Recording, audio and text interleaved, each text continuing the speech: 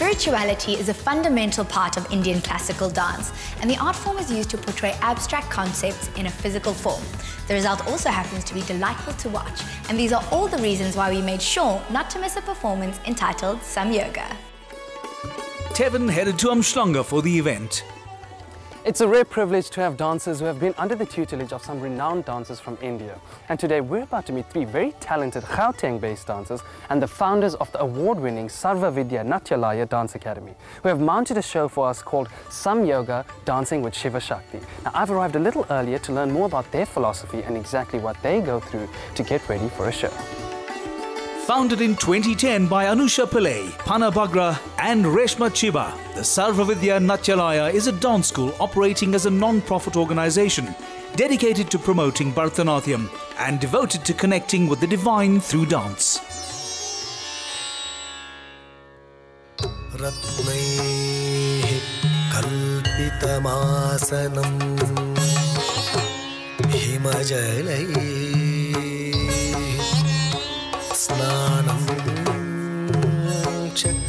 Anusha also takes the role of senior dancer and before the performance, Tevin got to fill in some background about the school.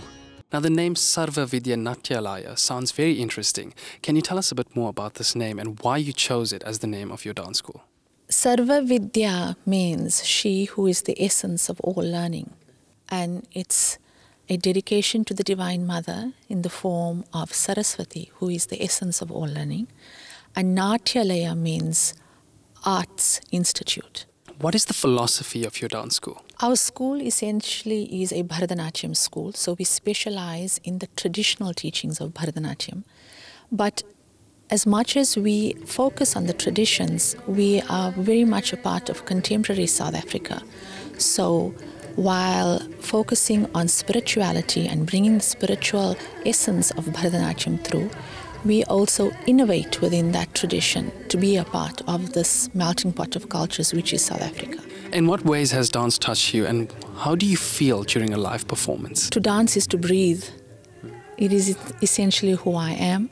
Music and dance softens the spirit and makes you enjoy the beauty that life has to offer. Having read the background to your school, I see there's an emphasis on Shiva Shakti. Can you tell us more about that? The essence of divinity is both masculine and feminine, which is the Shiva Shakti. In terms of Hindu mythology and Hindu spirituality, that Shiva Shakti is in all of us. And we try to teach and educate through dance and to awaken through dance that divine Shiva Shakti.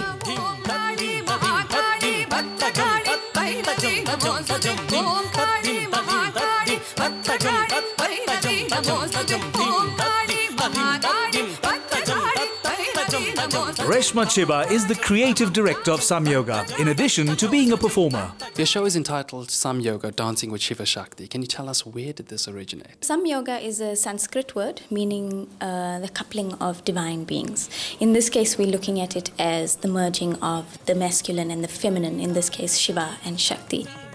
So it's really about a separation of the two and then how they come together as one.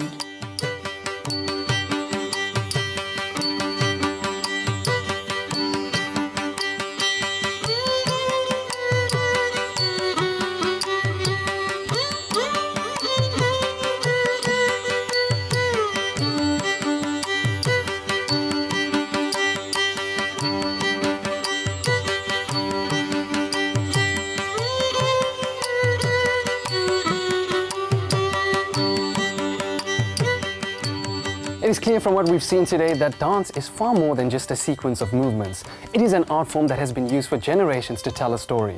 And the Sarvavidya Natyaalaya Dance Academy has spoken to the masses once again, leaving their audiences enthralled and enlightened through the beauty of dance.